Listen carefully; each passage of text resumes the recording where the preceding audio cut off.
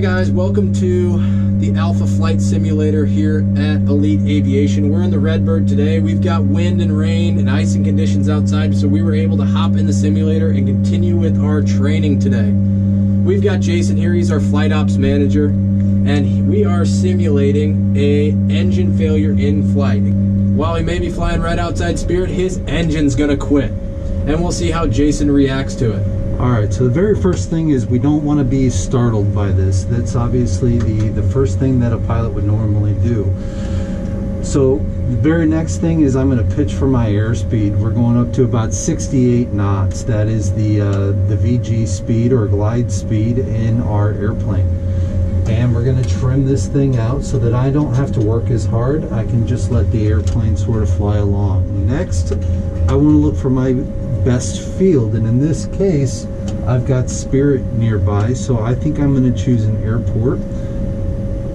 And we're going to go looking for that. Next is checklist. We are going to run through our sort of mental checklist first to see if we can resolve this problem. Uh, as you can see, our fuel here is uh, pretty much empty on the right side. So if I take that, and if you would, go ahead and move that to the left side for me. And you can see we got from the right tank, now we're going to the left. And from here, I would then put make sure that the mixture is in. We have throttle coming in, and we could also try the uh, engine key over there. If you would go ahead and switch between the mags, and we start up. Now in this case, I don't want the engine to come back to life. I want to continue on with with uh, what we're what we're trying to do here. So next, I can go to my checklist and make sure did I forget anything? Engine failure during flight. Airspeed 68. As you can see, I'm going a little slow there, so I need to pitch that nose down just a little bit more. The fuel shutoff valve. We don't have one in here, but we would assume that it is in the fuel selector valve on both. Well, in this case, we don't want on both because one of our fuel cells have, have gone out. So we do want it on the left. Auxiliary fuel pump, we can try and turn that on. All right, did the engine come back on? And we can try and start that left engine key just again. Mixture is indeed rich. It's all the way in. The ignition switch to both. If the windmilling is going on, we could uh, possibly try and restart there. In this particular case, it's not working for us. Now the Redbird is extremely useful for these types of situations because we can pause it anytime we please and talk about what's going on. By doing that, we can just go ahead and press it here. Then Jason and I can go through and say, okay, well, how could we have made this better? Something that's not as useful while you're in the airplane is you can't pause it, right? You're going to have to continue along there. And you can see some of these things are quite time consuming to where we can get through five or six engine failures and fires and different types of emergencies in a simulator lesson to where in the airplane we may be only to get through one or two while we have to climb back up to the altitude and do these numbers of things. Jason did an awesome jo job of going through his ABC's checklist of engine failures, being airspeed, best landing spot, and then he went straight to his checklist. The next thing he's going to have to do, and why we paused it, is because Jason needs to declare some sort of an emergency. So what he's going to do is he's going to get on there and and um, let someone know. Maybe it'll be Spirit Tower. Let them know that he experienced engine failure, as well as he's going to be able to squawk a code for us. Let's see how Jason does when we unpause it.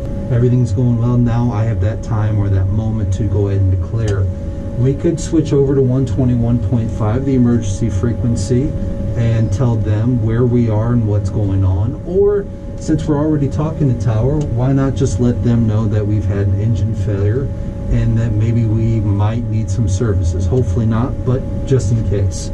So, Mayday, Mayday, Mayday. Skyhawk 24783 has an engine failure. I plan on landing on 8 right. Um, I'm squawking 7700, that being the uh, emergency for just generally anything. Um, I left my master, my avionics on, so maybe I can still talk to Tower and tell them what's going on. If I need anything that they could help me out with, generally, I leave the master on so that I can still add my flaps. As we come into 2-6 left, I notice, hey, I'm, I'm a little high. Maybe I'm sort of in a bad position. Maybe I should go ahead and start adding these flaps in. I've got about 7,000 feet of runway to play with. So I'm not too worried about overshooting. At this point, I just don't want to come in short. So by leaving those flaps out, hopefully I can still make that runway. Now, like we talked about, a lot of what emergency procedures is is being able to flow through the process of it, knowing and, and doing, building an automatic response to what happens if I lose my engine, to where it's if it actually were to happen, you'd be able to handle it. And like we talked about before, the simulator is awesome for that. There's no added pressure of and and added pressure of something actually going wrong, as well as we can go through a number of these at, um, on each training session that would allow us to, to maximize our performance when we get in the plane. Reason why this is a great tool to use is we simply just put it right back in place and let's do this again. With the airplane, I don't have that ability to snap us right back. We have to now spend the next 10 minutes climbing up to altitude, getting us in a position where we can do this. Now in real life, multiple engine failures in a flight would be a terrible day. For us in the simulator, we can maximize this even with bad weather. We can practice through these training procedures and, and utilize our time and the tools here at um, Elite Aviation and Alpha Flight Simulation.